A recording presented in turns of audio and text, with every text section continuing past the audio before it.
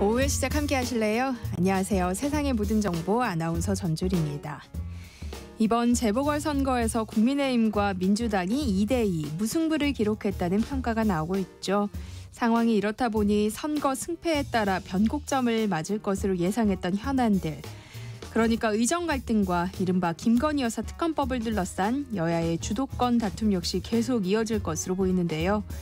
국민의힘 한동훈 대표는 윤석열 대통령과의 독대를 앞두고 김건희 여사 의혹과 관련한 3대 요구안을 제시했고요. 민주당은 더욱 강력한 김건희 여사 특검법을 추진하고 있는데요. 재보선 이후 전국은 어떻게 흘러가게 될지 잠시 뒤 여의도 인포메이션 코너에서 자세히 살펴보겠습니다. 오늘과 내일 전국적으로 많은 비가 내릴 거라고는 하지만 가을만큼 또 걷기 좋은 계절이 없을 텐데요. 오늘 똑똑 라디오 주치 코너에서는 맨발 걷기의 건강 효과 그리고 주의할 점 알려드릴 예정이니까요. 궁금한 분들 계속해서 함께해 주세요. 저희 방송은 KBS 일라디오 유튜브 채널을 통해서도 실시간으로 시청 참여하실 수 있습니다. 많은 관심 부탁드리면서 KBS 세상의 모든 정보 지금 시작합니다.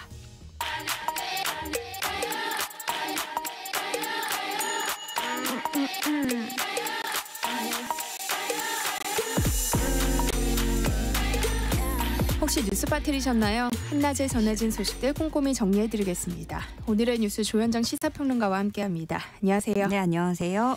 네, 오늘은 국회 11개 상임위원회에서 국정감사가 진행되는데요. 쟁점이 될 내용들 좀 살펴볼까요? 네, 지금 음, 이번 국회가 김건희 이재명으로 매몰된 국감이다라고 하지만 오늘은 특히나 그 김건희 여사가 도마 위에 오를 거예요. 어제 그 검찰의 불기소 처분이 나온 후에 여파가 상당할 것으로 예상이 되고 어제도 당장 그랬거든요. 야당은 지금 이런 상황까지 치달았는데 이거 국감을 하는 게 맞는지 모르겠다라고까지 얘기를 할 정도고요. 그래서 야당은 이 그 주가 조작 주동자 김모 씨가 우려했던 대로 김 여사만 빠지고 우리만 잡혀가는 상황이 현실화된 것이다 이렇게 목소리를 높이기도 했습니다. 그럼 오늘 이제 여당은 이에 맞서서 늘 해왔던 대로 민주당 이재명 대표 사법 리스크를 꺼내들 거예요. 그런데 어, 아무래도 어제 무혐의 결정이 나왔고 그 직후라서 강대강 충돌이 있을 거고 김건희 여사 검찰 처분에 대해서 여당은 이제 하나하나 방어하는 거에 시간을 쏟을 것으로 보여지고 다른 사안들을 좀 가려질 우려가 있겠습니다. 그런데다가 오늘 법사위에서 서울중앙지검 국감하는 날인데 10시에 시작이 됐거든요. 당연히 도이치모터스 의혹 그 무혐의 처분된 거 그리고 또 더해서 수사심의위원회가 그 최재형 목사에게는 기소 처분을 권고했는데 이걸 검찰이 왜 안 받아들였는지 이것도 쟁점이 될 것으로 보여지고요. 그 밖에도 뭐 이재명 대표와 관련된 대장동 의혹, 의혹 수사 등을 놓고 놓고도 여야 충돌이 예상됩니다. 네, 민주당의 심우정 검찰총장에 대한 탄핵 소추를 추진하기로 했다고요. 네, 이것도 결국에는 그 도이치모터스 주가 조작 의혹하고 관련해서 김건희 여사 불기소 처분을 검찰이 했다라는 거에 반발을 하는 거예요. 네. 그래서 심우정 총장에 대해서 탄핵 소추 추진하기로 했는데 오늘 민주당이 최고위원회의 열었거든요. 그래서 검찰이 김건희 여사에게만 면죄부를 주고 있다라면서 좀 탄핵이 필요하다라는 목소리가 정말 쏟아져 나왔고요. 그래서 오늘 이 최고위원회의를 거친 후에 지도부 차원에서 공유가 있었고 이걸 탄핵 소추를 진행하기로 결론을 냈다고 발표를 했습니다.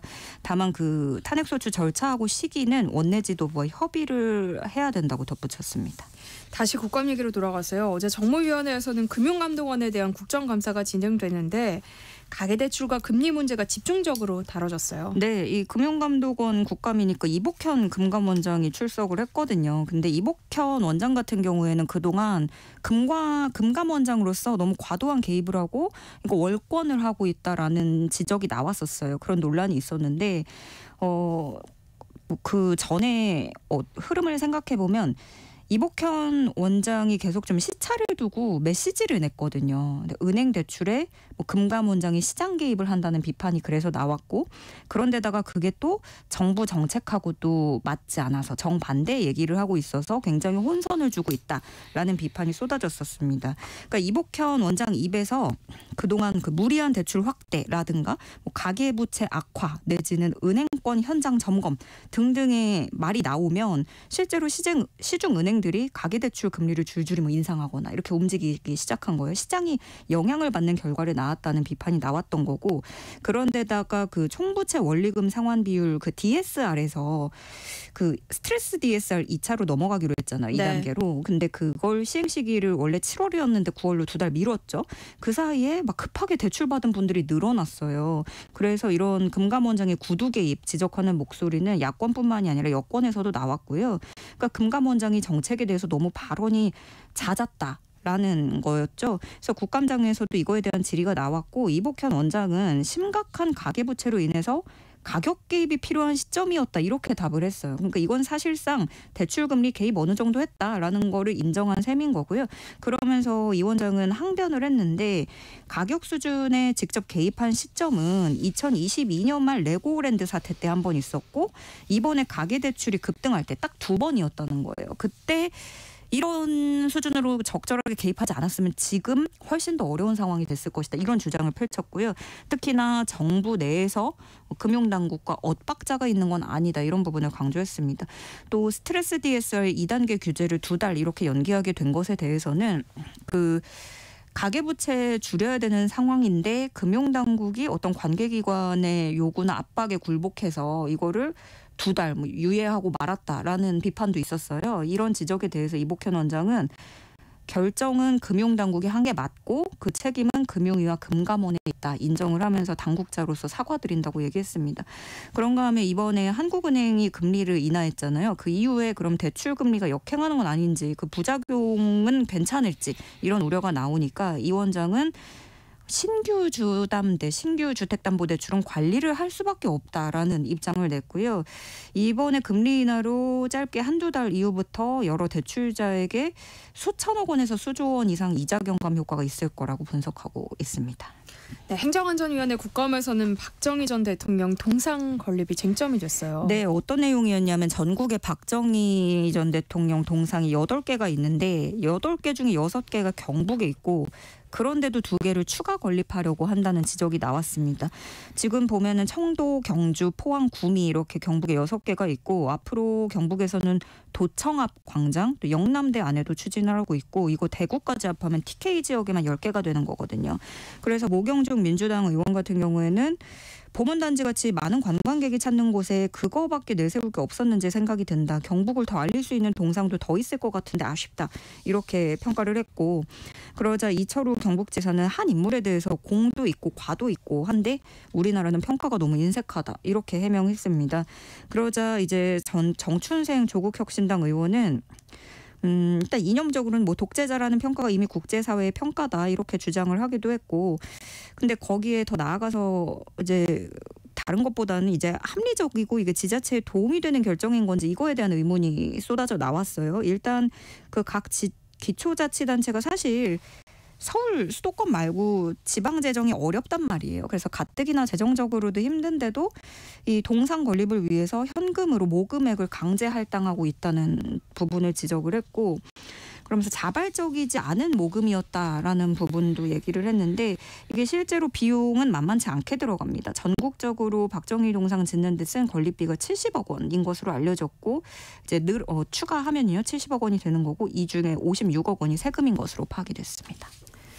네, 정부가 의료계를 향해서 인력 수급 추계 위원회 참여를 거듭 요청하고 있는데요. 오늘이 추천 마감일인데 아직까지 의료계 추천 인사가 단 한 명도 없는 상태라고요. 네, 이게 그러니까 정부가 대통령 직속으로 해가지고 수급 추계 위원회 만들어서 뭐 과학적인 인, 인원을 도출해 보자라는 거였고 여기에 뭐 환자 단체, 의료계 뭐 이렇게 섞어서 위원회를 꾸리겠다. 대신에 의료계에 많은 인원수를 배정해 주겠다 이거였어요.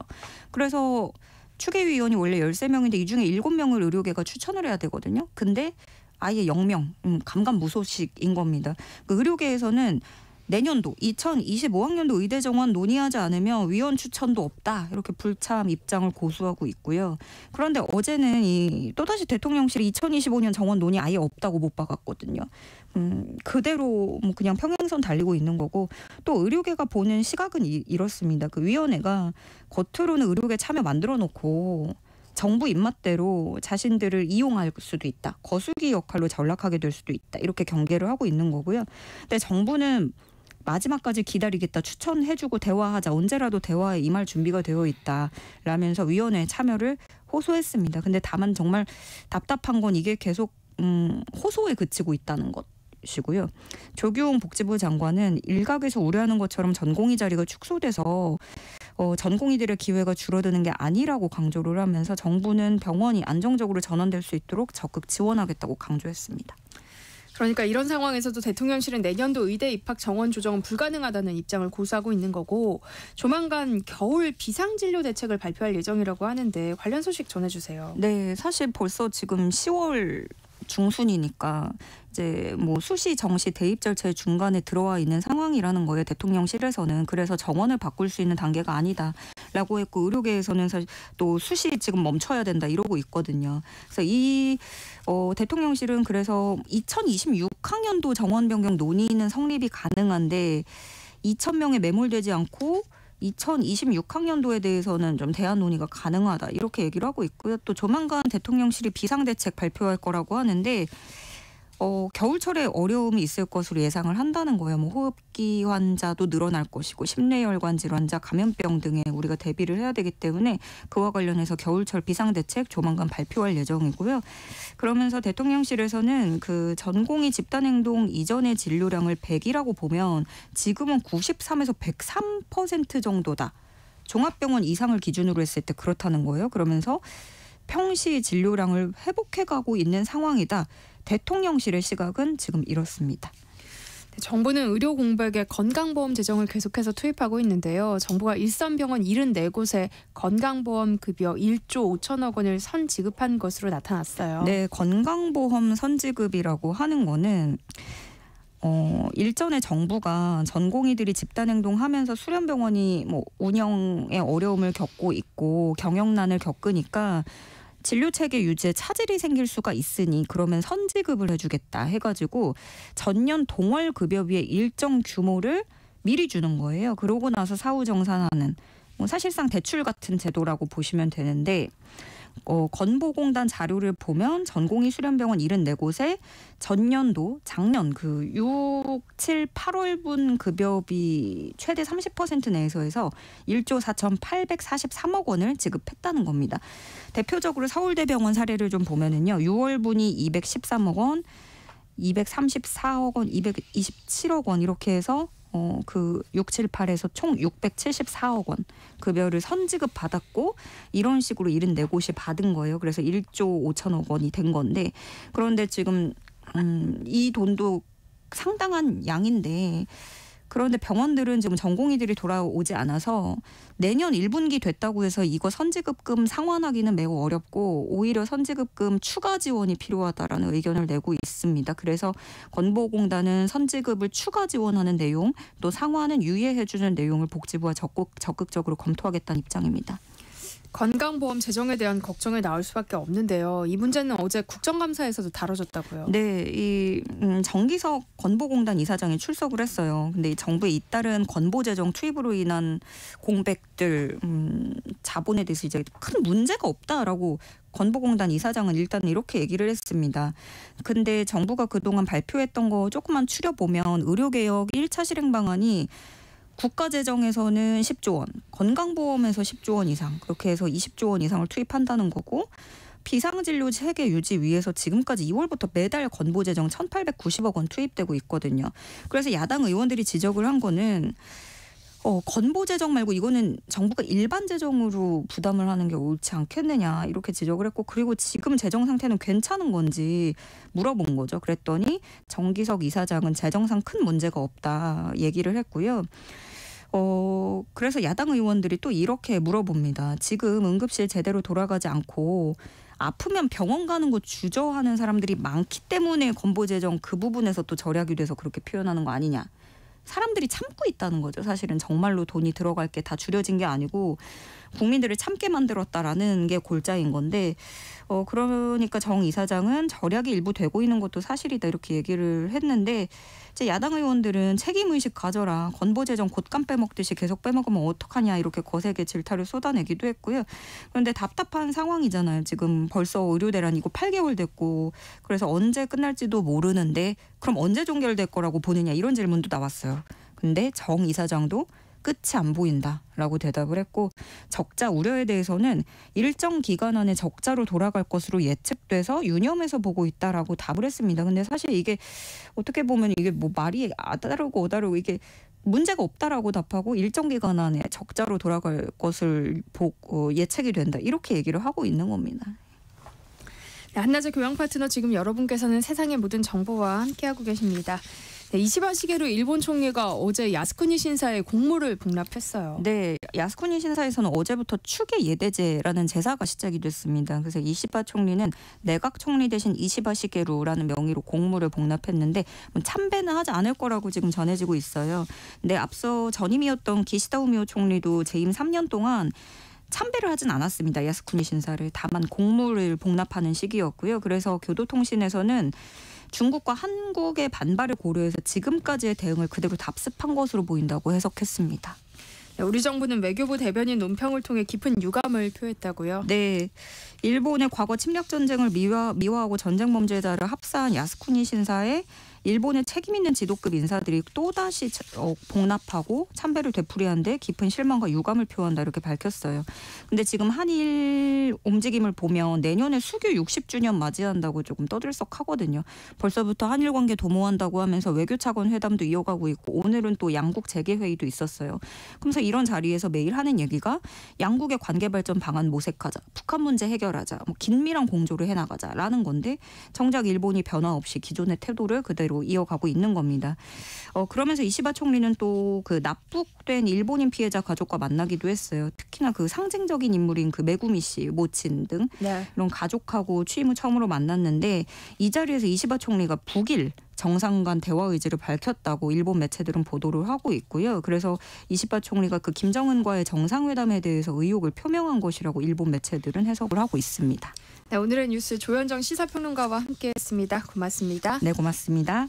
KBS 일라디오 세상의 모든 정보와 함께하고 계신 지금 시각은 12시 37분입니다. 이 시각 교통정보 알아봅니다.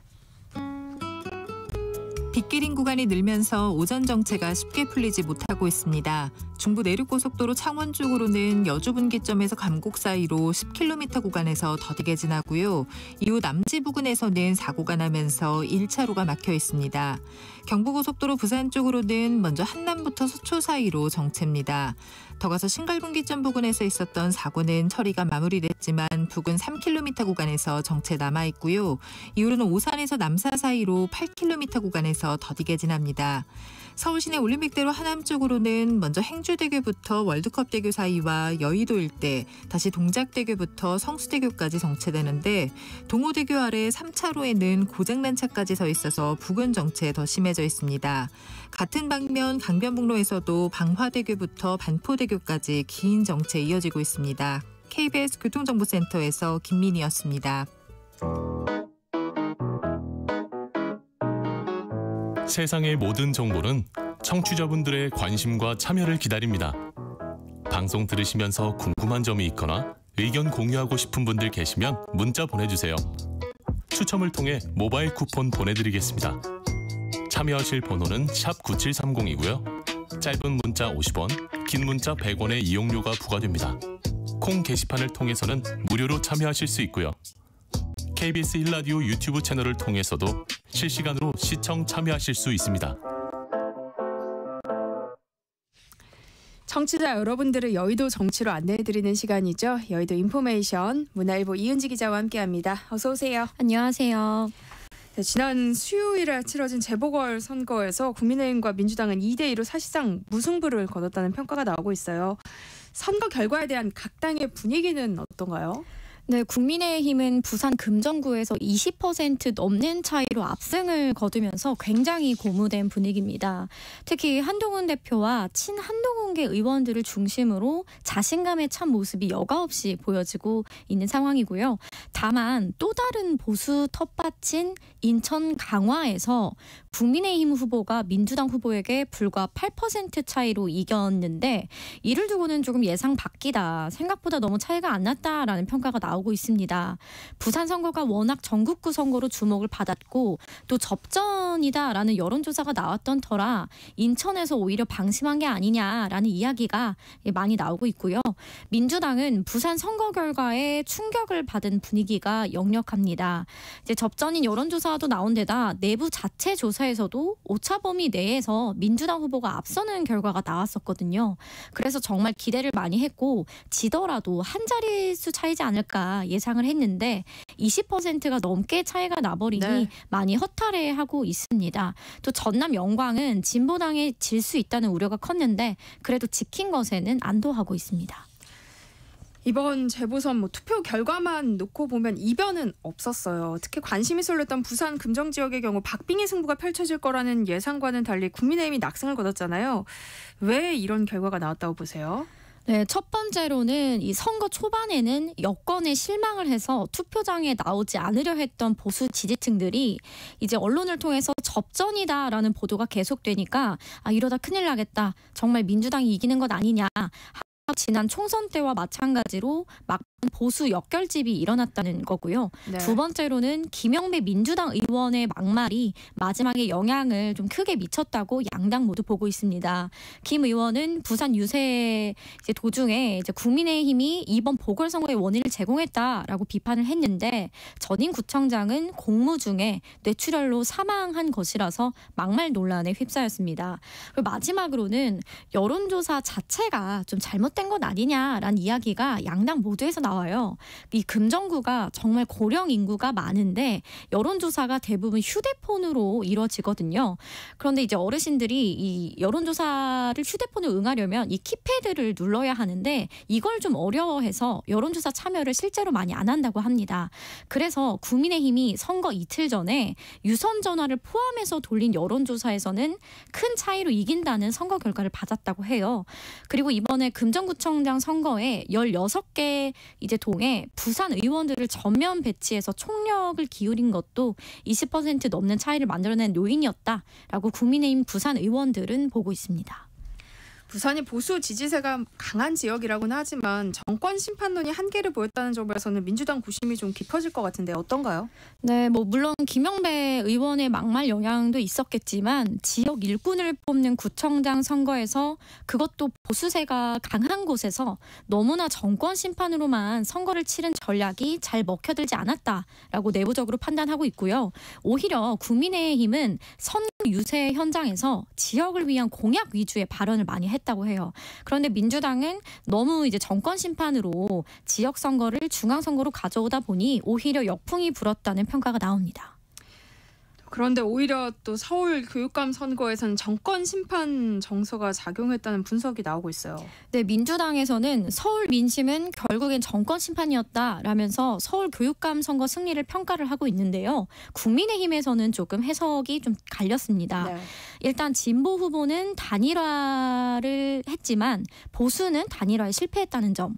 그리고 선거 캠페인 자체가 진보 교육감 후보는 서울대 교수라는 직함인데 보수 후보는 전 한나라당 의원이라는 점에서 대비된 점도 결과에 영향을 미쳤다고 국민의힘 보고 있습니다.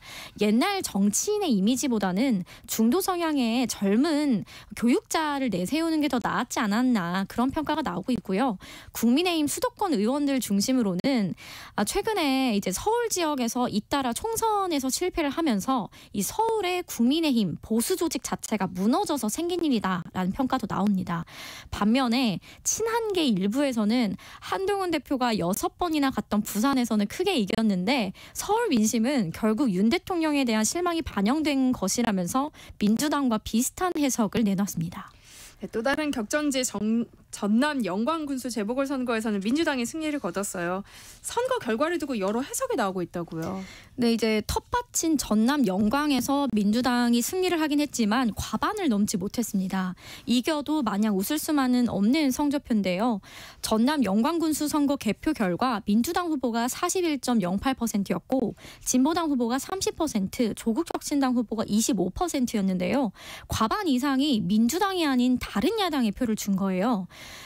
그간 이제 호남의 맹주로 민주당이 오래 자리매김을 했는데 지금 정권 심판 여론이 이렇게까지 달아오른 상황에서 과반을 하지 못했다는 점에서 아쉬운 성적표입니다. 이는 이제 윤석열 정부도 잘못하는데 이재명 대표의 민주당도 이걸 잘 막아내지 못하고 있다라는 비토 여론이 호남에 깔려 있다는 것으로 해석이 되고요. 때문에 이재명 대표로서도 이번 호남 민심은 앞으로 풀어가야 가야 할 숙제로 보입니다. 네, 이번 재보궐 선거는 미니 선거였지만 이 선거 결과가 갖는 의미는 상당할 것이란 전망이 많았는데요. 이번 선거가 여야 대표 리더십에는 어떤 영향을 미칠 걸로 보이세요? 한동훈 대표로서는 굉장히 운이 좋았다 혹은 기회가 왔다라고 이제 평가가 나올 만큼 취임 100일도 안 된 시점에 중요한 선거를 이겼기 때문에 앞으로 당내 개혁을 추진하는 데 탄력을 받을 것으로 보이고요. 대통령실을 향한 당의 목소리에도 더욱 힘이 실릴 전망입니다. 보궐선거 직후죠. 이제 다음 주 초에 대통령과 독대가 예정돼 있는데 이 자리에서도 한 대표의 발언에 더 무게감이 실릴 수밖에 없습니다. 반면 이재명 대표의 경우는 이제 저, 전남 영광에서 좀 신승을 거두면서 대권 과도에 있어서 스크래치가 조금 난 상황인데요. 호남의 지지를 받지 못하는 야권의 이제 대서, 대권 주자는 치명적인 약점이거든요. 그래서 제1야당의 의석수에 못 미치는 결과를 봤던 만큼 앞으로 윤석열 정부에 대한 대한 대한 정당으로서 면모를 더욱 부각할 것으로 보입니다. 대중 정당을 지향하면서 전남 영광 선거에 총력을 기울였던 이 조국 혁신당의 조국 대표는 향후에 정치적 입지에 타격이 있지 않겠느냐 이런 분석이 나오고 있어요. 네, 조국 대표가 한 달 살이까지 하면서 전남 영광 선거를 진두지휘했죠. 네. 공을 굉장히 많이 들였는데 진보당에도 밀려서 3위를 했습니다. 원내 12개 의석이지만 이번 보궐선거를 발판으로 2년 뒤 지방선거까지 세를 확장한다는 구상이었는데 이러한 청사진에 적지 않은 타격이 불가피해졌고요. 또 이제 조국 대표의 입시비리 대법원 선고가 올해 안에 난다는 이야기들이 좀 들려와서 네. 그 결과에 따라서도 당이 요동칠 것으로 보입니다. 네, 민주당 이재명 대표는 재보궐 선거가 끝나자마자 강원도 고랭지 배추밭을 찾았어요. 이런 행보 어떻게 봐야 할까요? 네, 선거 결과와 상관없이 나는 이제 민생을 먼저 챙기겠다라는 의지로 의지를 보여주는 행보입니다. 이재명 대표의 트레이드 마크인 먹사니즘 행보로 볼 수 있는데요. 최근 금배추라는 말이 유행할 정도로 네. 이제 농산물 가격 폭등, 채소 물가가 민생고로 꼽히는 만큼 바닥 민심과 민생을 살피겠다는 겁니다. 어, 윤석열 정부 실정과 대비해서 이제 민생을 챙기는 대한정당 대권 후보로서의 입지를 계속 키워가겠다는 것으로 해석이 되고요.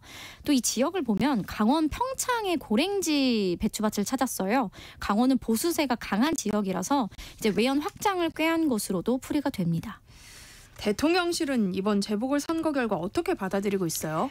네, 대통령실에서는 그래도 전통 지지층들이 정부 여당에 한 번 더 기회를 준 것이라고 생각하고 있고요.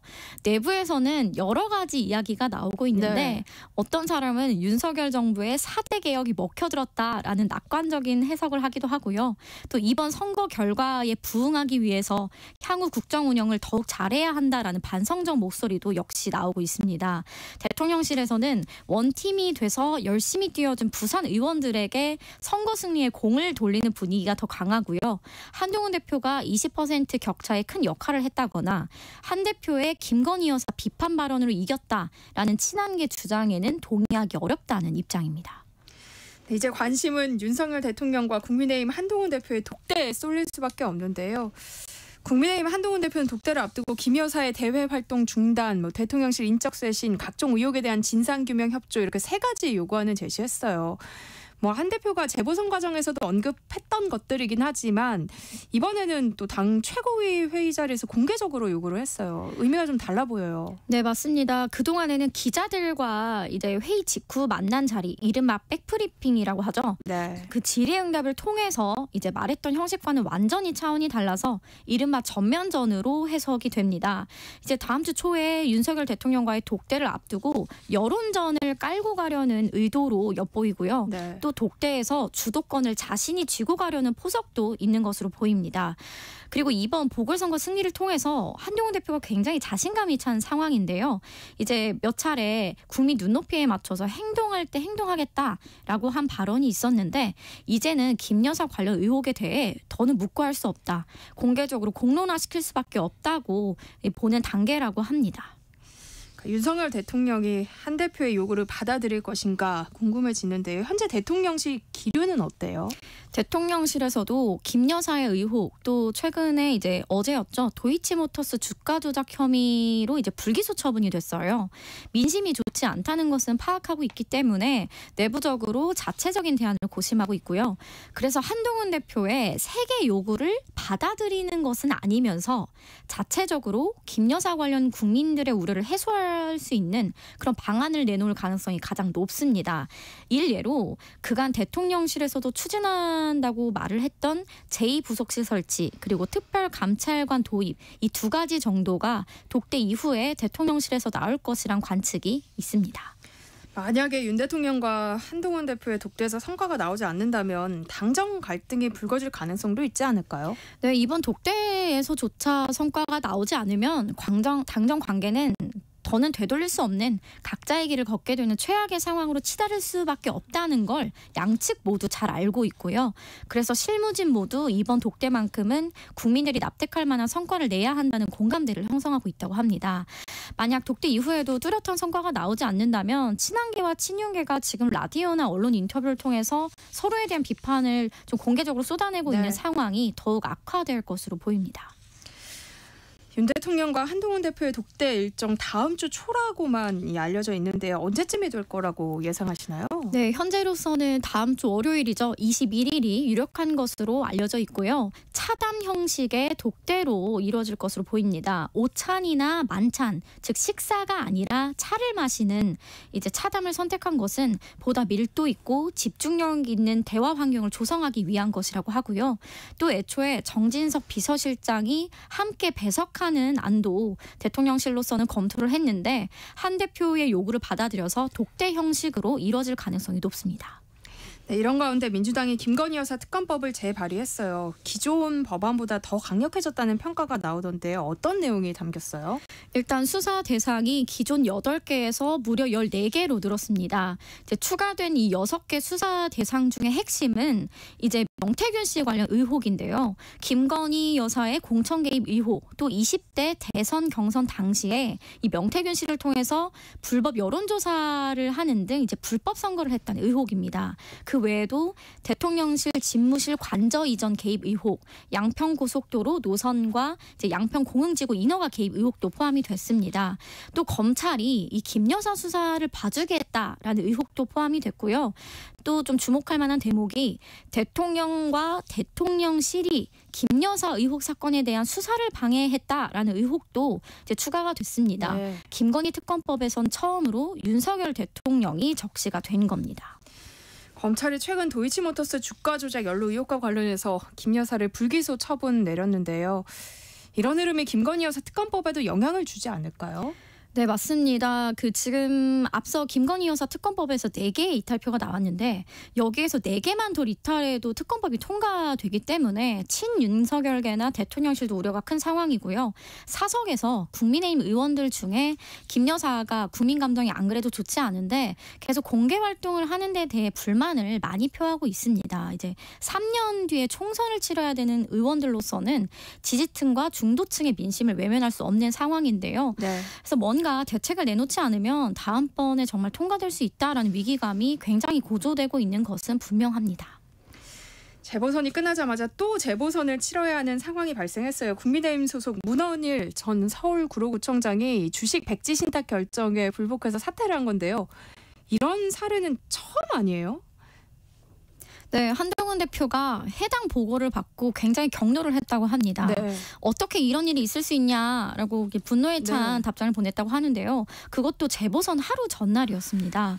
지금 국민의힘 내부에서는 총선을 내리졌기 때문에 2년 뒤 지방선거에 대한 걱정을 정말 많이 하고 있는 상황이에요. 네. 민주당이 다수 의석을 갖고 있기 때문에 탈환해야 하는 이 서울에서 그것도 민주당 국회의원들로 이루어진 구로에서 국민의힘 구청장이 이렇게 자신의 재산을 지키겠다고 사퇴하는 것은 큰 악재로 보고 있고요. 네. 당장 내년에 열리게 될 재보궐 선거에서도 국민의힘의 귀책 때문에 치러지는 거라서 구로구청장 후보를 내게 되면 큰 비판을 받을 수 있어서 이 후보를 내는 문제로도 골치가 아플 전망입니다.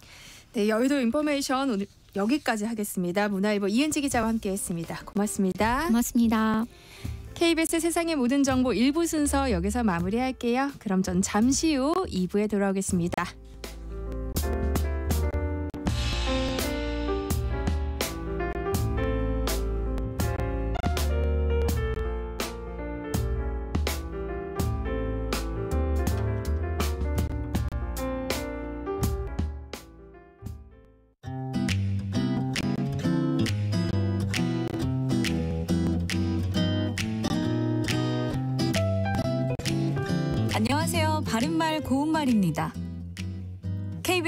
텔레비전에서 방송되고 있는 우리말 겨루기에서 나왔던 문제를 짚어보겠습니다. 오늘은 제시되는 뜻풀이에 해당하는 표현을 맞히는 문제입니다.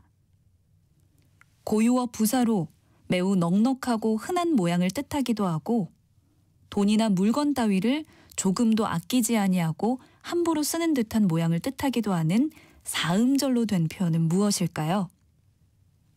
출연자의 답에 물 쓰듯이 흔전만전, 흥청망청이 있었는데 이 중에서 정답은 흔전만전입니다. 예를 들어 먹을 것이 흔전만전이다 라고 하면 먹을 것이 매우 넉넉하고 흔하다는 뜻이고 돈을 흔전만전 쓰다 또는 수돗물을 흔전만전 낭비하다 라고 하면 돈과 수돗물을 아끼지 않고 함부로 쓴다는 뜻이죠. 참고로 출연자의 답에 나왔던 흥청망청은 돈을 흥청망청 쓰다와 같이 돈이나 물건 따위를 마구 쓰는 모양이라는 뜻과 젊음을 흥청망청 보내다와 같이 흥에 겨워 마음대로 즐기는 모양이라는 뜻이 있습니다. 그런데 매우 넉넉하고 흔한 모양이라는 뜻은 없으므로 정답과는 거리가 있는 표현이죠. 그리고 물 쓰듯이는 물건을 헤프게 쓰거나 돈 따위를 흥청망청 낭비하다라는 뜻의 관용구로 한 단어가 아닙니다. 지금까지 바른말 고운말 이윤정이었습니다.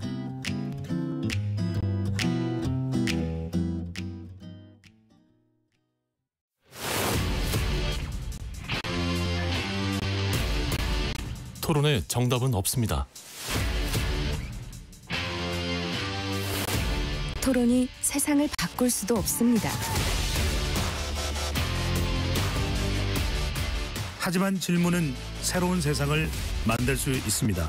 질문으로 올바른 세상을 만드는 첫걸음. 평일 저녁 7시 20분 KBS 열린 토론.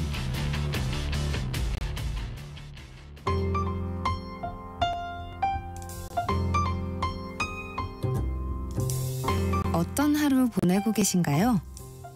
눈코 뜰 새 없이 바쁘게 지나가는 한 주. 월요일부터 금요일, 매일 밤 10시부터 12시까지는 오롯이 당신만을 위한 시간입니다. 당신을 위한 지식 쉼터. 오늘 밤 일라디오.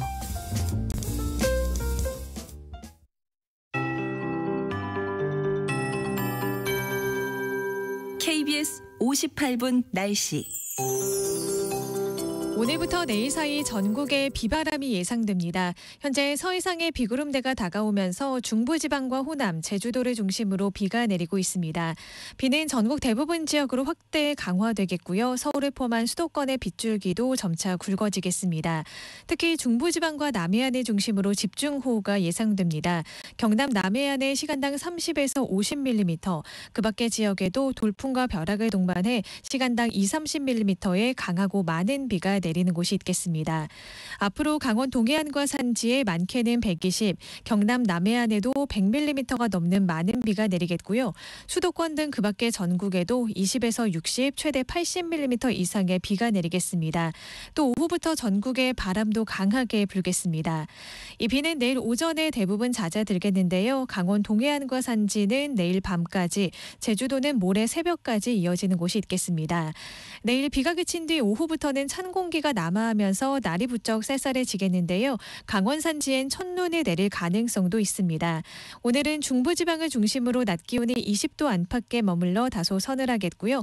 모레 일요일에는 전국 대부분 지역의 아침 기온이 한 자릿수로 뚝 떨어지겠습니다. 건강 관리 잘 해주셔야겠습니다. 현재 서울의 기온은 17.6도입니다. 조하늘입니다.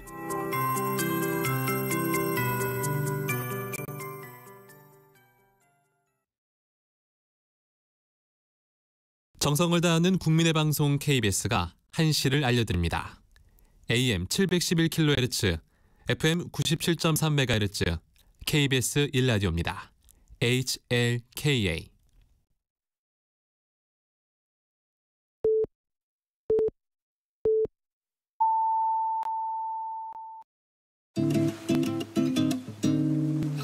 나른한 오후를 책임질 영양 만점 지식 비타민. 세상의 모든 정보.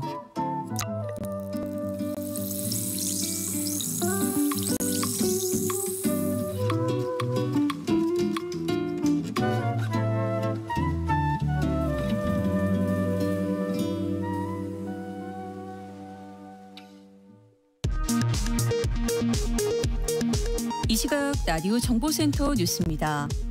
김정은 북한 국무위원장이 지난 15일 남북 연결용로 폭파에 대해 철저한 적국인 한국으로부터 우리의 주권이 침해당할 때 물리력을 거침없이 사용될 수 있음을 알리는 마지막 선고 같은 의미라고 위협했습니다. 정부가 내수 경기에 대해 석 달째 완만한 회복 조짐이 보인다고 평가했습니다. 수출과 제조업 중심으로 경기 회복 흐름이 이어지고 있다는 시각은 유지했지만 기존 추이보다 회복 강도가 다소 약해진 상황으로 진단했습니다. 이스라엘군이 팔레스타인 무장정파 하마스의 최고 정치 지도자 야이야 시너르를 제거했다고 밝혔습니다. 네타냐후 이스라엘 총리는 하마스는 더는 가자 지구를 통치하지 못할 것이라고 말했습니다. 지금까지 라디오 정보센터 뉴스 정한나였습니다.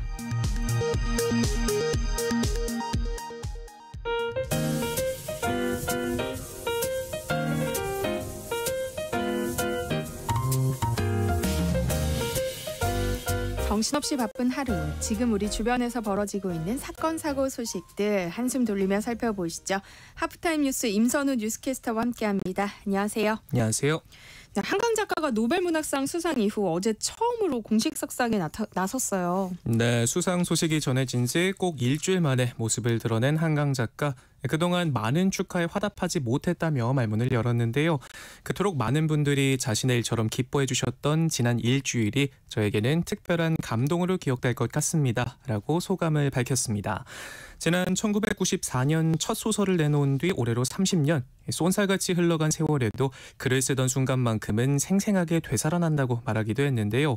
종종 무슨 재미로 사느냐라는 질문을 받기도 하는데 가장 좋아하는 건 쓰고 싶은 소설을 마음속에서 굴리는 시간이라고 말하기도 해 글 속에 파묻혀 지내는 시간이 가장 좋다는 천생 작가의 모습을 보여주기도 네. 했습니다. 그러면서 60세까지 완성하고 싶은 글이 3개 있지만 이야기가 더 많이 생각나면 죽음 도 맞이하기 어려울 수 있을 것 같다며 조용히 웃어 보였는데요. 세상은 한강을 찾으며 들뜬 모습이지만 상을 받기 전과 일상이 크게 달라지지 않길 바란다고 말하면서 언제나처럼 책으로 세상과 연결되고 싶다고 전했습니다.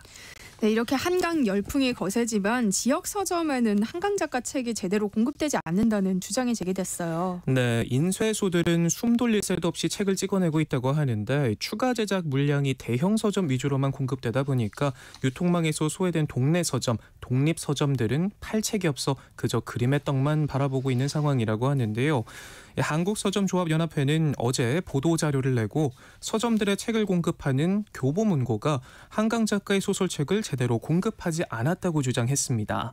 노벨 문학상을 수상한 10일 당일 교보문고가 서점들의 주문을 넣을 수 있는 자사 유통 서비스의 주문을 막았다면서 또 지난 14일 저녁에는 15일부터 한강의 도서 한 종당 10% 제한의 주문이 가능하다는 내용의 공지를 띄웠지만 이를 지키지 않았다고 덧붙이기도 했습니다.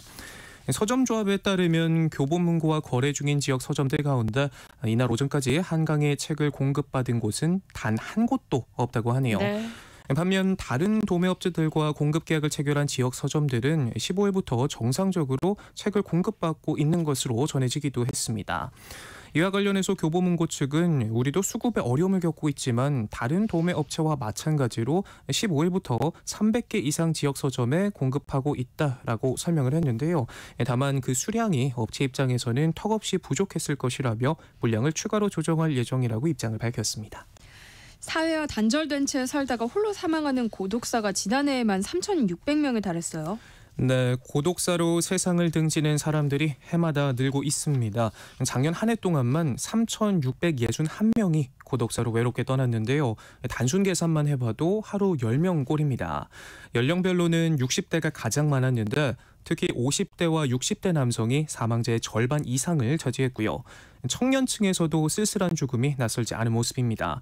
전체 고독사에서 차지하는 절대적인 비중은 작았지만 특히 20, 30대 사망자 약 절반이 스스로 생을 마감한 것으로 나타났습니다. 그동안 법이 두 번 고쳐지면서 이 고독사의 범위도 넓어졌는데 사회적 고립이 핵심 기준이 됐는데요. 어떤 경우가 사회적 고립이고 또 죽음까지 이르게 하는지 국가 차원에서 구체적인 요인들을 파악해야 하는데 고독사 예방법이 시행된 지 3년이 지난 지금도 단순히 숫자를 파악하는 단계에 머무르고 있다고 합니다. 결국 지자체마다 대책의 차이가 날 수밖에 없는 상황이고 저마다 방법으로 고독사를 막으려고 애쓰고 있지만 보신 것처럼 현실은 여전히 무겁기만 한데요. 네. 청년들은 취업 때문에 또 중장년층은 사별과 이혼 같은 관계 단절, 노년층은 경제적 이유로 세대별로 고독사 원인도 각기 다른 만큼 이에 맞는 맞춤형 정책이 필요해 보이고요. 또 고독사 사망자의 약 40%가 기초생활보장 수급자로 파악된 만큼 빈곤에 대한 사회 안전망도 정비해야 한다라는 목소리도 높아지고 있습니다. 연세대학교 수시 모집 논술 시험 논란이 일파만파 커지고 있어요. 이번에는 시험 문제가 유출됐다는 주장까지 나오고 있어요. 네, 지난 주말이었죠. 연세대 수시 모집 자연계열 논술 시험에서 감독관 실수로 한 고사장에서 문제지가 시험 시작 1시간 전에 잘못 배부됐다가 회수됐는데 이후 인터넷상에 수험생이 촬영한 것으로 보이는 문제지 등이 올라와 공정성 논란에 불이 붙었습니다. 연세대 측은 당시 실수가 있었지만 문제가 유출됐을 가능성은 없다고 선을 그었었는데요. 그런데 집단 소송을 주도하고 있는 이 연세대 재학생이 실제로 문제가 유출됐다는 주장을 내놨습니다. 시험지를 일찍 받은 한 수험생이 시험 시작 30여 분 전 다른 고사장에 있던 친구에게 세 문제에 대한 정보를 휴대전화 문자로 전달한 사실을 양심 고백했다고 밝힌 건데요. 해당 고사장에서 휴대전화 관리가 제대로 이뤄지지 않았다는 증언도 잇따르고 있습니다. 집단 소송 움직임도 빠르게 퍼지고 있습니다. 이번 추가 의혹을 제기한 연세대 재학생은 수험생과 학부모 100여 명이 소송 참여를 검토하고 있고 다음 주쯤 효력 정지 가처분과 함께 무효 소송을 제기하겠다고 밝혔습니다. 연세대는 앞서 문제지를 촬영해 온라인에 게시한 수험생 등을 업무방해와 정보통신망법 위반 혐의 등으로 경찰에 고발했는데 재시험 여부 등에 대해서는 수사 결과가 나온 뒤 검토할 예정이라고 밝힌 상황입니다. 공정성 논란이 들불처럼 번지고 있는데요. 전반적인 관리 부실이라는 비판이 나오면서 대학들이 전형료 장사에만 관심이 있는 것 아니냐는 지적도 나오고 있어요. 네, 연세대가 올해 논술 시험 전형료로 벌어들인 돈만 약 11억 원에 달한다고 합니다. 네. 다른 학교도 전형료로 60억 원에 가까운 돈을 거둬들인 것으로 파악됐는데 잇따라 관리 부실 논란이 터져 나오면서 대학들이 이른바 전형료 장사를 하는 것 아니냐는 목소리까지 나오고 있는 실정입니다. 하지만 현행법상 전형료의 책정 기준과 용처는 정해져 있다고 하는데요. 출제 수당과 감독 수당 수당, 인쇄비 등 전형을 준비하고 진행하는 용도로만 책정해 사용해야 하고 남은 금액은 학생들에게 돌려줘야 한다고 명시돼 있습니다. 다만 전용료를 어디에 얼마나 썼는지 공개할 의무가 없어서 불미스러운 사건이 잇따르는 상황에서 이 대학의 신뢰성 제고를 위해서라도 투명한 공개가 필요하다는 지적이 계속해서 나오고 있습니다. 이 밖에도 대학 모집 인원의 80%를 이 대학별 수시 전형으로 선발하지만 문제 유출 같이 학교 측 관리 감독 부실로 문제가 발생했을 때도 대응 방안을 규정한 대학이 드물다는 점도 문제점으로 꼽히고 있는데요. 수험생이 잘못하면 불합격, 감독관이 잘못하면 모르쇠, 반복되는 논란에도 책임을 지지 않고 넘어가게 되는 구조 자체를 손봐야 한다는 지적도 함께 나오고 있습니다. 네. 최근 저출생 문제가 심각해지면서 어린 자녀를 키우는 직원을 대상으로 지원을 강화하는 지자체들이 늘고 있는데요. 이른바 하이브리드 근무제를 도입한 포항시 반응이 좋다고요. 네, 단순 현금 지원 중심이던 출산 장려 정책이 한 단계 더 업그레이드 됐다는 긍정적인 평가가 나오고 있는데요. 포항시는 이달부터 8세 이하 자녀가 2명이면 주 2일, 자녀가 3명이면 주 3일 등 자녀 수에 따라서 재택근무 일수를 차별화하는 이른바 하이브리드 근무제를 도입했습니다. 포항뿐만 아니라 다른 지자체도 육아기 공무원을 대상으로 다양한 정책들을 시행하고 있는데요.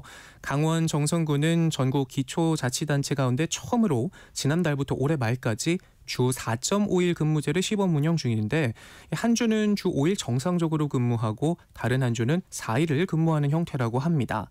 8살 이하 자녀가 있거나 7급 이하인 공무원이 대상인데 7급 이하 공무원은 자녀 유무와 상관없이 월요일, 월요일부터 목요일까지 모두 8시간 초과 근무를 한 뒤 격주 금요일 쉬는 방식이라고 하고요. 충남도는 공공기관 최초로 지난 7월 주 1일 재택근무 의무제를 도입하고 24시간 365일 전담 보육시설을 설치하기도 했습니다. 서울시도 지난 8월부터 8세 이하 자녀를 둔 공무원이 일주일에 하루는 의무적으로 재택근무를 하도록 했고요. 대전시도 지난 8월부터 임신기 공무원을 대상으로 주 4일만 출근하고 하루는 재택근무하도록 했는데 아, 이런 작지만 큰 변화들이 더 많이 곳곳에서 보인다면 치열한 하루살이에 시달려 아이 낳기 주저하는 저 같은 젊은 부부들이 고민을 한시 름덜수 있지 않을까 하는 기대감이 듭니다. 네. 요즘 택시 기사가 급감해서 전국 곳곳에서 기사님 모시기에 나서고 있다고요. 네, 저만 그렇게 느끼는 건지 모르겠는데 요즘 택시 잡기가 참 쉽지 않더라고요. 도로 위 지나다니는 빈 택시도 거의 못 본 것 같고 어플로 불러봐도 한참을 기다리거나 아예 안 잡힐 때도 많은데요. 실제로 전국 곳곳이 기사님 모시기에 열을 올리고 있다고 합니다. 최근 부산에선 법인 택시 기사 채용 박람회가 열렸는데요. 요즘 택시 기사 하겠다는 사람이 없어 부산시와 부산시 택시 운송 사업조합이 처음으로 합동 설명회를 열었다고 합니다.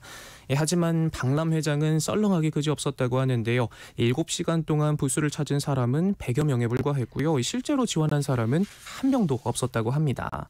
부산시 법인 택시 기사는 5년까지만 해도 5년 전까지만 해도 만 명이 넘었었는데 지난달 기준 5천 명대까지 줄어 반토막이 난 상황이고요. 사실상 택시 10대 중 4대는 기사가 없어 차고지에 멈춰선 상황이라고 합니다. 네. 택시 기사 모시느라 머리가 아픈 건 서울시도 마찬가지입니다. 지난달부터 필리핀 가사 관리사 시범 사업을 하고 있는 서울시는 아예 인력난이 심각한 택시에도 외국인 기사를 도입하는 방안까지 들여다보고 있다고 하는데요.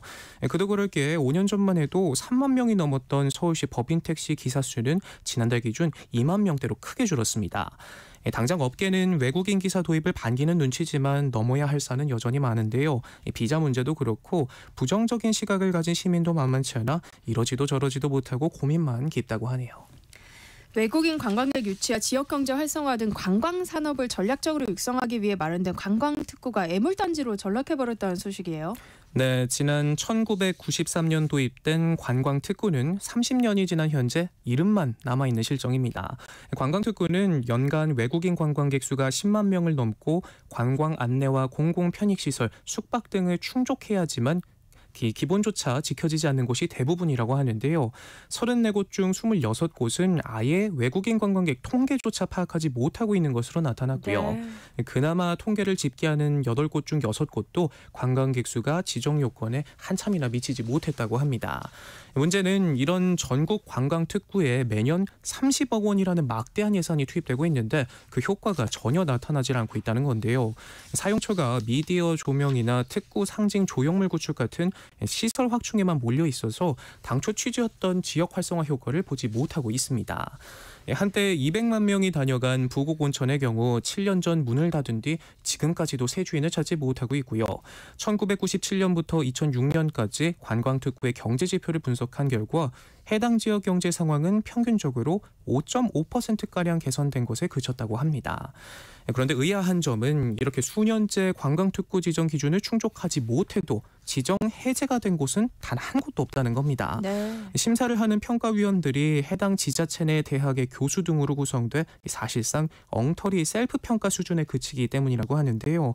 평가 항목 지표들은 입증되지도 않았고 오히려 부풀려진 추정치들로 좋은 점수를 얻어내고 있는 실정이라 쓴소리와 함께 30년 묵은 옛 관광특구 기준과 제도의 대대적인 손질이 필요하다는 지적이 나오고 있습니다.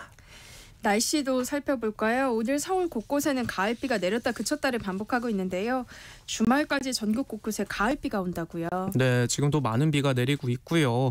어, 주말에도 제법 많은 양의 비가 내린다고 합니다. 수도권에 포함한 중부 내륙에 최대 80mm, 부산 등 남부 지방에 최대 100mm가 내리는 등 가을비치고는 많은 양의 비가 내릴 전망인데요. 비는 토요일 낮이면 대부분 지역에서 그치겠지만 강원 영동과 제주는 밤까지 이어진다 고 하고요. 비가 그친 후엔 북서쪽에서 찬바람이 내려오면서 전국의 낮 기온이 20도 안팎으로 크게 내려가겠습니다. 일요일엔 서울의 아침 기온이 9도까지 뚝 떨어져 평년 기온을 밑돌겠고 바람도 강하게 불어 꽤 쌀쌀하게 느껴지겠는데요. 강원 산지는 아침 기온이 3도 아래로 내려가 도로에 살얼음이 낄 수도 있다고 하니까요. 각별히 주의하셔야겠습니다. 네, 하프타임 뉴스 임선우 뉴스캐스터와 함께했습니다. 고맙습니다. 고맙습니다.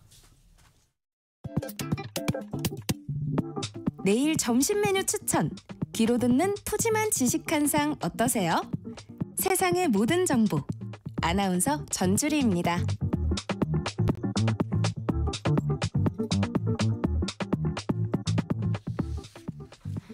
건강에 관한 모든 궁금증을 풀어드리는 시간입니다. 똑똑 라디오 주치의 을지대학교 가정의학과 오한진 교수님과 함께합니다. 어서 오세요. 네, 안녕하세요.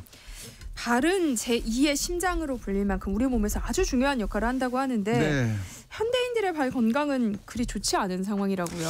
그러게요. 우리나라도 건강보험 심사평가원이라는 곳에서 족저근막염, 뭐 평발, 무지외반증 같이 이렇게 발 관련 질환을 확인해 봤더니 매년 환자 수가 늘고 있다 이렇게 이제 확인이 되고 있거든요. 네. 사실 우리가 신발을 신을 때 발을 보호하기 위해서 신는 것보다는 패션 감각 남에게 보이려고 또 뭐 키가 커 보이려고 이래서 하이힐 뭐 rain boots 거기다 요새 뭐 고무로 만들어진 이상한 신발들 그런 거 이런 것들 신다 보니까 이 발에 문제가 자꾸 생기게 있는 거죠.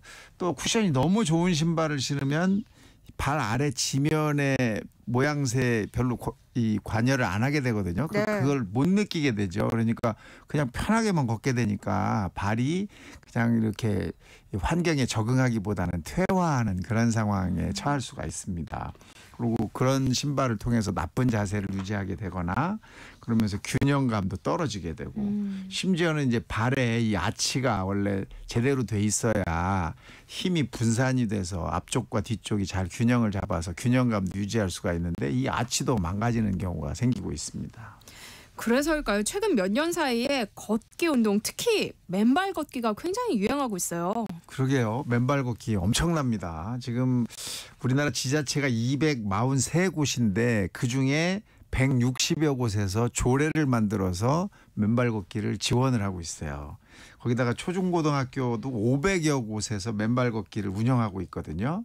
이게 굉장한 이제 붐을 일으키고 있고 이게 전 세계적으로 마찬가지예요. 우리나라뿐이 네. 아니라 호주나 뉴질랜드에서는 이미 이제 맨발 걷기 문화가 정착이 되고 있고 유럽과 미국에서도 맨발 하이킹이라고 해서 이게 아주 유행하고 있다고 합니다. 그러니까 세계적 추세군요. 네. 근데 이제 맨발 걷기가 건강에 도움이 된다는 얘기는 하나의 정설처럼 자리를 잡았는데요. 실제로 그래요? 이 부분은 아직까지 이제 완벽한 연구 결과는 없어요. 그러니까 네. 의학적인 근거는 좀 미흡한 상황이죠. 근데 사실 따져보면 우리 손이나 발을 제2의 뇌라고 이야기하거든요. 왜냐하면 손은 주머니에 손을 넣으면 이게 50원짜리인지 100원짜리인지 500원짜리인지 동전을 금방 구별하잖아요. 그리고 옆에 홈이 파져 있는지 이런 것들도 이 손, 손가락에 있는 감각 점만 가지고도 다 확인할 수 있고 네. 따뜻한지 차가운지도 금방 알고 크기가 얼마인지 무게가 어느 정도 되는지도 금세 알잖아요. 근데 발은 사실 뭐 차갑고 뜨거운 건 알지만 거기다가 또 불편한 건 느껴요. 뭐 신발 안에 조그마한 모래가 하나 들어가도 아유 불편해 이런 느낌은 느껴지지만 손같이 아주 발달돼 있지는 않죠. 그리고 이 발에는 또 뼈가 이 26개나 있고 또 관절도 33개나 있고 인대와 근육 뭐 신경 같은 걸 다 합치면 한 100여 가지 종류의 이제 기관들이 모여 있다. 이렇게 알려져 있는데 이것이 사실은 조금 더 발달할 수 있었음에도 불구하고 지금 이제 퇴화돼 아. 있다는 거죠. 뭐 우리가 발로 뭘 잡을 수 없잖아요. 근데 가끔 그런 분들이 있어요. 발가락이 좀 길고 발에 힘이 좋아서 엄지 발가락과 나머지 발가락으로 수건도 잡고 뭐 잘 줍는 분들도 있어요. 이렇게 발달된 분들도 있거든요. 그래서 이렇게 발달이 더 되려면 맨발로 움직이는 것이 도움이 된다 이거죠. 음. 손에도 발에도 고유 감각 수용체라는 게 있습니다. 이것은 이 지금 말한 대로 어떤 느낌도 느끼고 균형감도 느끼고 뜨겁고 차갑고 뭐뭐 도톨거리고 부드럽고 그 거칠고 이런 걸 다 느끼는 그런 감각체인데 이것이 뇌와 교류를 해요. 느끼면 바로 뇌로 그 정보를 주고 뇌는 그 느낌을 금방 다시 손에다 줘서 피하게 하거나 또는 더 계속 잡게 하거나 부드러운 건 만지고 싶고 날카로운 건 피하고 싶고 그렇잖아요. 그래서 그런 것들을 이 고유 감각 수용체라고 하는데 이게 뇌를 활성화시키는데 그 뇌의 감각 부분만 활성화시키는 게 아니라 그 주변 부위- 부위까지 다 활성화를 시키면서 뇌의 부위- 부위까지 다 활성화를 시키면서 뇌의 그 주변과 관계된 질병들에 도움을 줄 수 있는 거죠. 어. 그래서 이제 뭐 예를 들면 뭐 우울증이라든지 감정의 변화라든지 이런 것들에도 도움이 되는 것으로 많이 알려져 있습니다. 그러다 보니까 맨발로 걸으면 뭐 만병통치같이 이제 생각을 하시는 분이 있는데 아직까지 질병에 대한 것은 완벽한 연구 결과는 없다는 거 음. 요건 좀 알아두시면 좋을 것 같습니다. 네, 오늘 똑똑 라디오 주치의 코너에서는요 맨발 걷기를 어떻게 해야 하는지 또 주의할 점은 뭔지 함께 알아볼 예정입니다. 평소에 걷기 운동과 관련해서 궁금한 점 있으신 분들 문자 보내주세요. 참여하실 번호는 샵 9730번이고요. 짧은 문자 50원, 긴 문자는 100원의 정보 이용료 부과됩니다. 콩 게시판 KBS 일라디오 유튜브 채널을 통해서는 무료로 참여하실 수 있으니까요. 많은 참여 부탁드립니다. 추첨을 통해서 모바일 쿠폰 보내드릴게요. 그러니까 맨발 걷기의 장점 어떤 것들이 또 있을까요? 네, 미국의 피츠버그 대학이라는 곳에 제임스 오슈만 박사라는 분이 이제 연구를 해가지고 재미난 것들을 이제 발표를 하셨어요. 그래서 맨발로 걷거나 또는 손을 이 땅 바닥에 대면 지속적으로 이제 땅바닥과 닿고 있으면 염증도 빠- 더 빨리 회복이 되고 면역 반응도 좋아지고 상처 치유도 도움이 되고 뭐 자가 면역 질환도 조금 더 도움이 되는 것 같다. 또 예방에도 도움이 된다 이렇게 이제 밝혔는데 이게 완전히 과학적으로 증명되지는 않았지만 이것이 이제 지구와 인간 사이의 어떤 이제 묘한 그런 이제 전기적 또는 뭐 화학적 이런 부분으로 작용을 하는 거 아니냐 이런 이야기들이 이제 자꾸 하게 되는 거죠. 네. 그래서 이 조금 전에 말씀드렸던 고유 감각 수용체가 활성화되면서 뇌가 자극이 되고 뇌가 자극이 되면서 활성화돼서 아 여러 가지 어 감정과 연관된 거 또는 잠과 연관된 거 이런 것들이 많이 좋아지는 것으로 돼 있고 또 이 걸으면 사실 햇볕도 볼 수 있고 또 땅에서 나오는 냄새도 맡을 수가 있고 또 거기다가 맑은 공기도 이렇게 걷게 되잖아요. 맨발로 걷게 되면. 그래서 이런 것들이 다 종합적으로 우리 신체에 영향을 주는 거 아니냐. 그러면서 우리 몸에서 특히 뇌에서 세로토닌이라고 하는 아주 행복 호르몬이 자- 더 많이 만들어지면서 아, 이런 감정적인 부분에도 도움이 된다. 이렇게 생각이 되고 있습니다. 근데 맨발로 걸을 때 좀 주의할 점들이 있을 것 같아요. 당연하죠. 맨발로 아무데나 걸으면 상처 받기가 딱 좋잖아요. 거기다가 발가락으로 어디 한거콱 찍어보세요. 얼마나 많이 아픕니까? 상처도 나고 만약에 뭐 발톱이 깨지거나 하면 그 상처가 엄청 또 깊고 또 맨발이니까 이 그 안에 있는 그 오염 물질들이 많잖아요. 그래서 박테리아나 바이러스에 감염될 수도 있고 그래서 네. 그런 부분들이 굉장히 중요하고 또 하나는 이 걷지도 않던 사람이 맨발 걷기 한다고 막 먼저 나서는 분들이 있어요.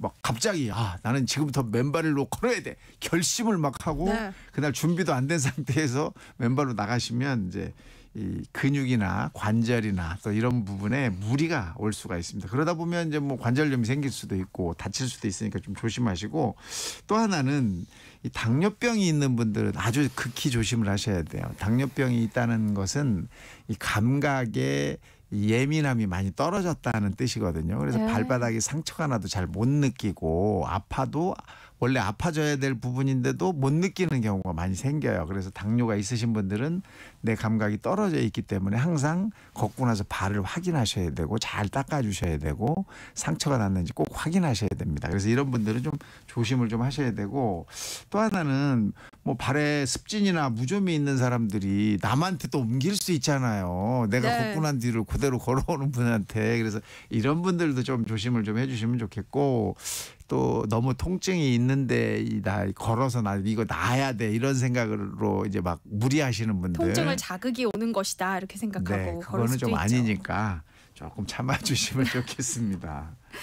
네, 이야기를 나누다 보니 궁금한 게요. 그럼 오한진 박사님도 맨발로 걸으세요? 아 맨발 좋죠. 근데 저는 맨발보다는 이제 요즘에 신발 신고 잘 걷는데 네. 제가 요 여의도 근처에 살아요. 그래서 네. 여의도 공원 제가 엄청 좋아하거든요. 새벽에 나오시면 저 만날 수 있습니다. 어. 새벽 여기 여의도 공원 두 바퀴를 제가 걷는데 두 바퀴 걸으면 한 50분에서 1시간 정도 걸려요. 그러면서 거기 맨발로 걸으시는 분은 안 보여요. 거기는 이 진흙으로 만들어진 맨발 걷기 길은 없기 때문에 네. 다 세멘트 길이어서 이 맨발로는 안 보이는데 뛰는 분 걷는 분 많습니다. 네. 음.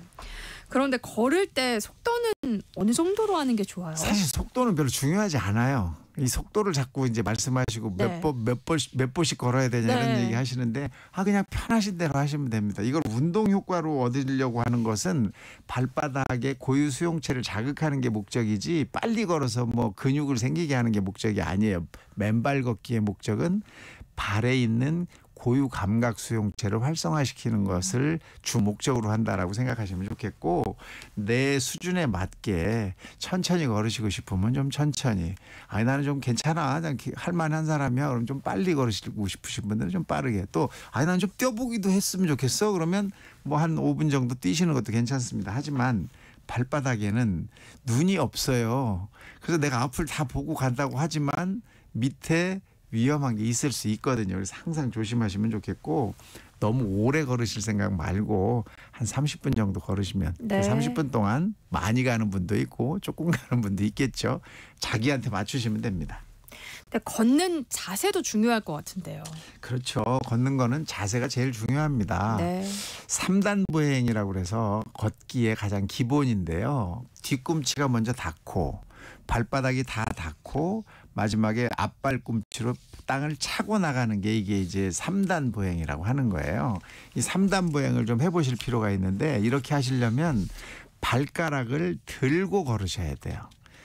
발걸음을 옮길 때마다 발가락을 들으면 네. 뒤꿈치가 닿게 됩니다. 발가락을 안 들으면 발이 한꺼번에 닿는 경우가 제일 많아요. 이거는 걸음에서 제일 나쁜 걸음이에요. 그리고 이렇게 걷는 분하고는 동거래 하지 말라고 그래요. 왜냐하면 이분은 근육량이 모자라서 에, 생명이 우리랑 좀 다를 수 있다 이렇게 생각할 수도 있기 때문에 앞발꿈치를 들고 걸으시고 뒤꿈치 닿고 발바닥 전체 닿고 앞발꿈치로 밀어내는 형식의 삼단 보행을 여러분들이 하시는 게 가장 좋고요. 제일 더 좋은 것은 또 기- 반드시 서야 되겠죠. 꾸부정하게 이렇게 구부리시면 안 되고 앞을 반드시 보셔야 되고 그 대신 팔은 너무 크게 흔드시면 안 됩니다.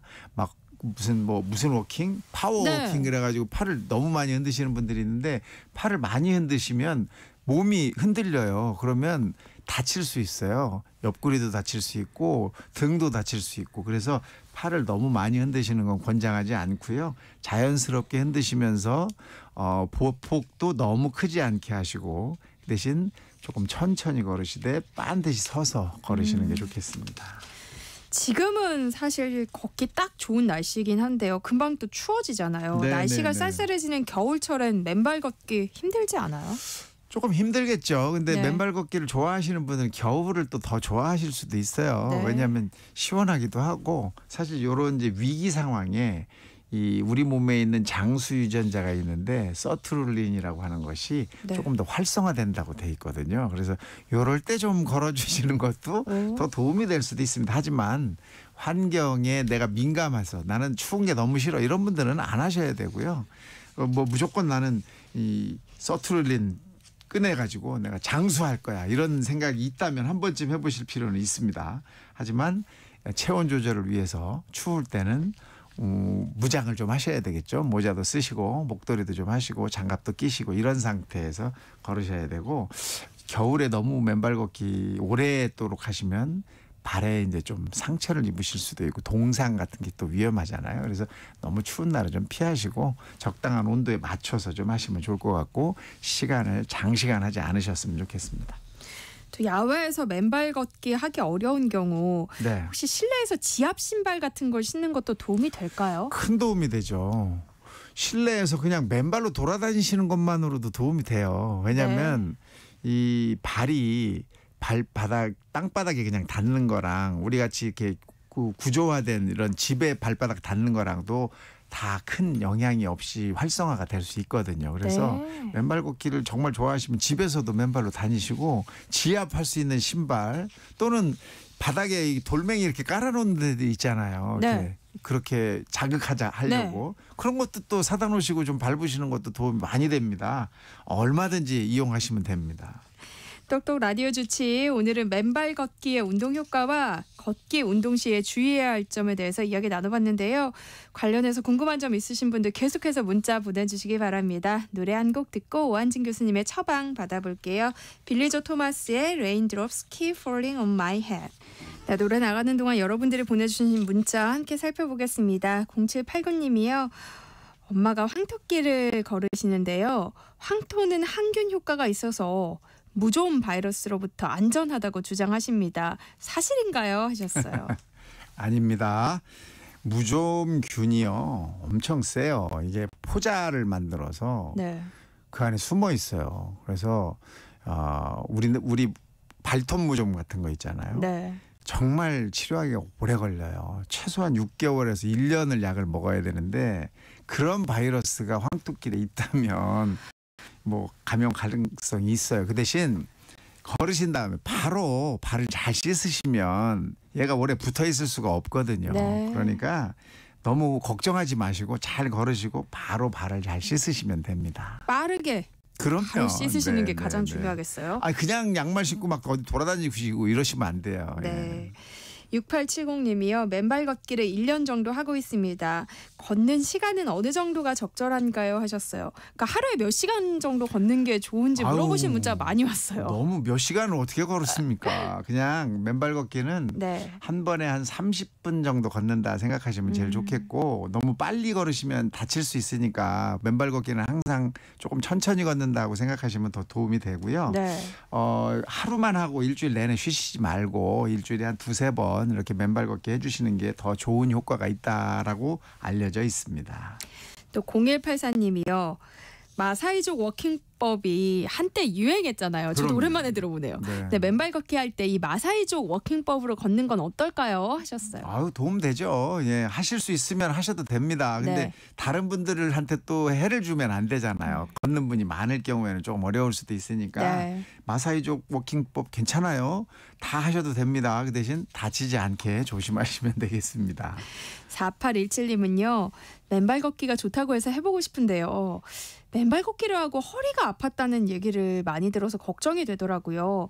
맨발 걷기를 하면 허리 통증이 생길 수도 있는 건가요? 하셨어요. 근데 준비 운동이 너무 안 되셨던 것 같아요. 이분은 아. 예, 그뭐 무- 모든 분이 맨발 걷기 하면 허리 통증 생기는 게 아닙니다. 그거 아니니까 걱정 마시고 준비 운동을 하셔야 되는데 제가 권하는 준비 운동 두 가지 있습니다. 네. 하나는 까치발석이에요. 까치발을 서시는데 세 가지 방법이 있어요. 다섯 발가락으로 까치발 쓰는 거. 네. 그다음에 엄지 발가락을 들고 네 발로만 발 까치발 쓰는 방법. 네. 그다음에 엄지 발가락만 대고 네 발가락을 들고 까치발 쓰는 방법이 있어요. 어. 뭘 붙잡고 하면 다 할 수 있습니다. 그냥 서서 하시면 어렵지만 네. 그래서 이렇게 뭘 붙잡으시고 이 까치발 쓰는 것을 적어도 한 30개씩 세번 뭐 이렇게 하시면 일단 걸을 때 허리 쪽이 훨씬 더 편해지고요. 또 한 가지 하나 더 하셔야 되는데 쩍벌 스쿼트라고 발을 이렇게 벌리시고 네.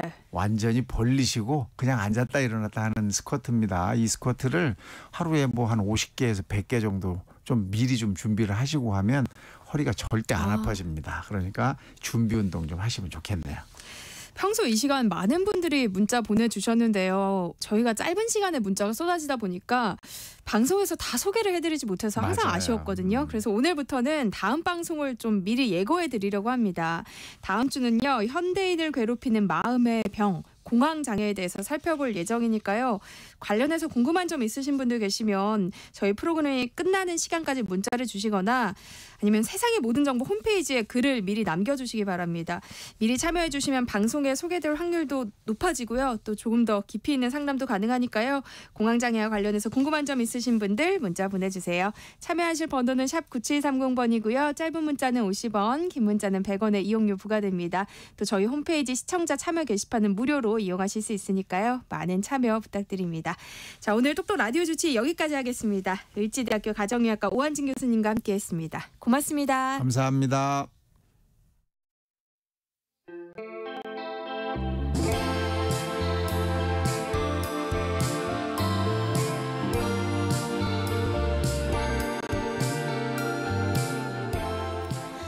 유난히 시간이 더디게 흘러가는 금요일 오후 지루함을 설렘으로 바꿔줄 노래만 담아왔습니다. 김윤아의 오늘이고 김윤아 음악평론가와 함께합니다. 어서 오세요. 안녕하세요. 오늘은 어떤 노래 함께 들어볼까요? 밖에 비 많이 오죠. 네. 생각보다 많이 와서 저도 오면서 깜짝 놀랐는데요. 가을이 깊어지는 신호인 것 같습니다. 지난주에 제가 노랫말이 아름다운 가요를 네. 소개해드리면서 좀 오랜만에 운치 있는 시간 보내지 않았나 싶었는데요. 어, 오늘도 그런 연장선으로 한번 준비해봤습니다. 가을을 듬뿍 담고 있는 대표적인 팝송들 함께 아. 해보도록 할게요.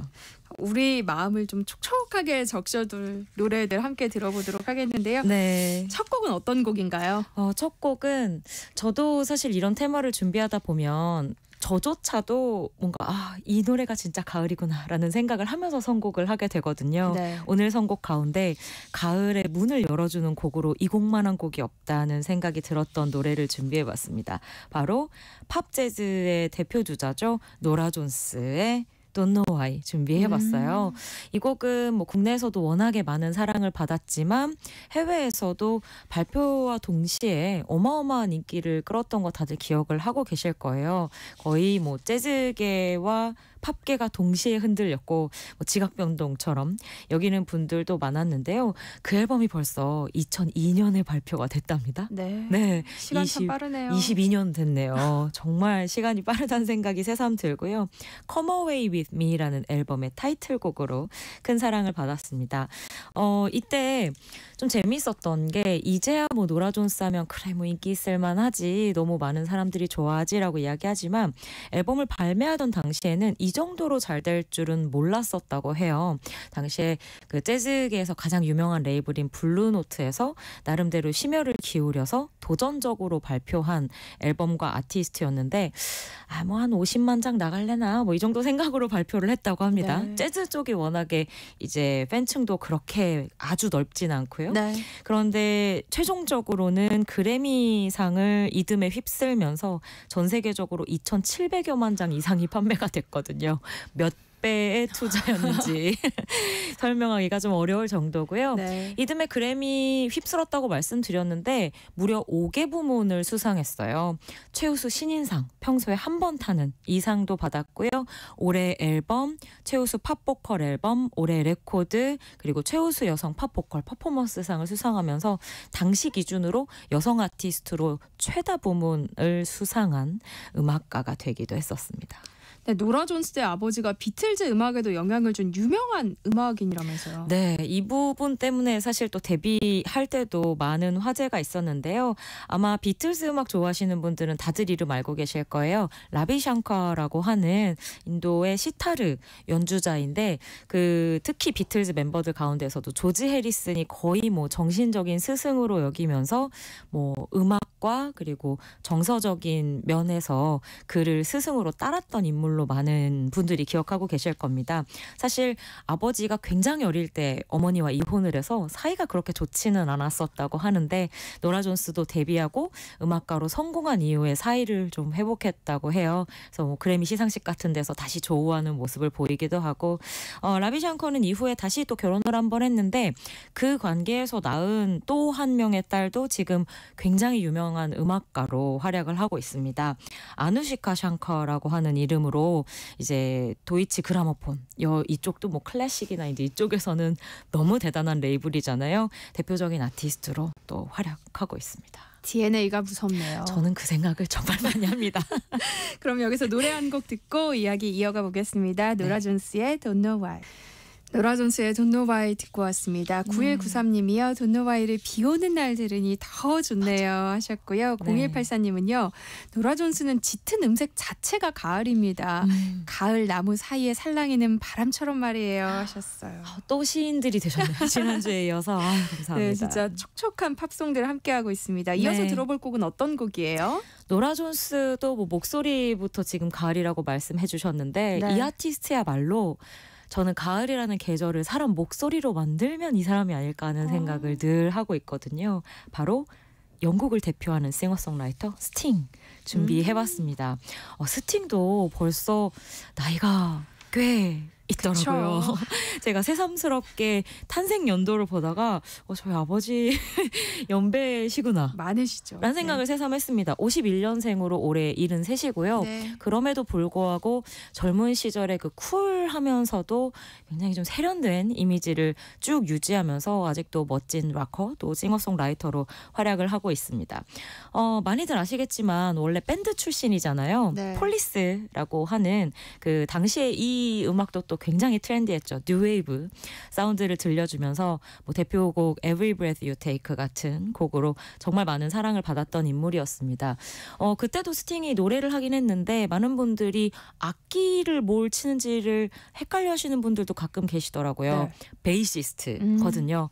그때부터였을까요? 제가 베이시스트에 대한 로망이 생긴 게 아, 너무 멋진 활약을 보여줬었고요. 이후 80년대 뭐 무르익으면서부터는 솔로로 활동을 바꾸면서 이때부터는 밴드 시절에 그런 젊고 어 뭐랄까요 좀 활발한 뉴웨이브 사운드에서 뭐 재즈 조금 더 깊이 있는 락 사운드 팝 여러 가지 장르를 접목시키면서 정말 네. 다양한 활약을 보여줬습니다. 뭐 그 모든 장르를 아우를 수 있었던 건 역시 스팅의 목소리였다고 생각을 하고요. 아 이런 목소리 가지고 태어나서 노래 안 하는 건 사회에 반하는 것이라는 생각을 하기도 합니다. 스팅하면 영화 레옹 떠올리시는 아. 분들 많을 것 같아요. 맞아요. 거의 스팅 이 레옹에 나왔는 줄 아는 분들도 많으시지 않을까 싶은 생각이 들어요. 네, 영화만큼이나 그 Shape of My Heart라는 곡이 네. 뭐 세계적으로도 너무 인- 많은 인기를 끌었고 국내에서는 정말 한 시절을 풍미했다고 해도 과언이 아닌 히트곡이었습니다.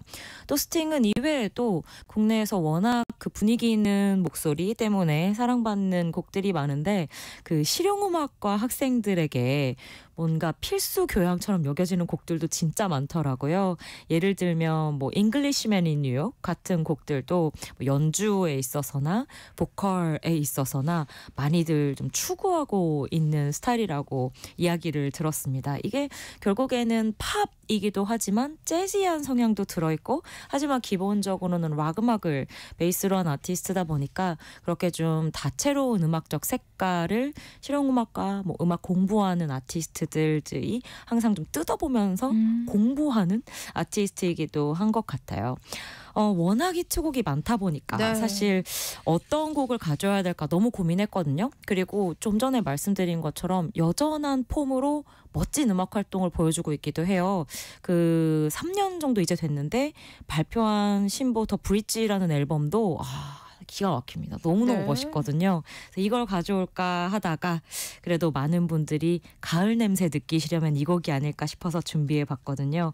뭔가 노랗게 물든 은행나무 숲길을 걷는 것 같기도 하고 가을의 깊은 햇살을 느끼게 만드는 또 이렇게 비가 오는 날의 촉촉함도 함께 겸비한 곡이 아닐까 싶습니다. 스팅의 Fields of Gold라는 곡 준비해 봤습니다. 네, 함께 들어보겠습니다. 스팅의 Fields of Gold 듣고 왔습니다. 네. 오구사사님이요. 스팅 목소리가 오늘 가을비와 어우러져서 눈이 사르르 감깁니다 하셨어요. 아, 너무 좋은 분위기. 저도 느끼면서 들었고요. 그 네. 하모니카 소리도 정말 가을과 잘 어울리네요. 음. 네. 근데 이 곡을 에바 캐서디가 리메이크해서 부르기도 했는데 그 네. 버전을 좋아하시는 분들도 많더라고요. 맞아요. of Gold는 이제는 약간 스탠다드 팝처럼 되어버려서 뭐 재즈 아티스트들, 팝 아티스트들 정말 커버를 많이 해요. 음색 살리기에는 또 이만한 곡이 없지 않나 싶습니다. 네. 네. 또이 분위기를 이어갈 마지막 곡도 소개해 주시죠. 네, 마지막까지 제가 분위기 깨지 않도록 하겠습니다. 역시나 한국인이 참 사랑하는 싱어송라이터 한 사람을 준비해 봤는데요. 네. 미국 출신의 어, 보컬리스트죠. 레이첼 야마가타의 노래를 마지막 곡으로 준비해 봤습니다. 네. 사실 레이첼 야마가타 같은 경우에는 이름 때문에 기억하는 분들도 많으셨던 것 같아요. 뭔가 레이첼, 어 미국 사람이구나, 야마가타? 그랬었죠.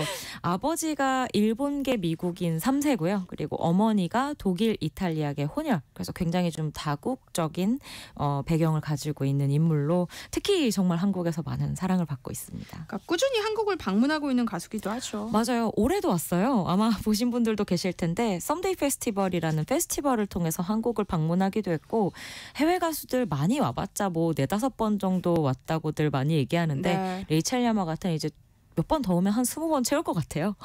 정말 한국 가수라고 해도 과언이 아닐 정도로 활발한 활약을 보여주고 있고요. 이외에도 오늘 준비한 뭐 Be Be Your Love 같은 경우에는 CM송 그리고 어 뭐 드라마 OST에 오리지널 곡을 삽입하거나 사진 작가 김중만 씨가 앨범 커버를 사진을 찍어주거나 하는 식으로 정말 좀 한국과 아주 아주 가까운 활약을 보여주고 있는 인물입니다. 네, 레이첼 야마가타의 Be Be Your Love는 끝곡으로 들려드리고요. 김이나의 오늘 이 곡 여기서 마무리하겠습니다. 고맙습니다. 감사합니다. 네, 세상의 모든 정보도 여기서 마무리할게요. 끝으로 레이첼 야마가타의 Be Be Your Love 함께 들으시고요. 저는 다음 주 월요일에 다시 찾아뵙겠습니다. 지금까지 아나운서 전주리였습니다. 고맙습니다.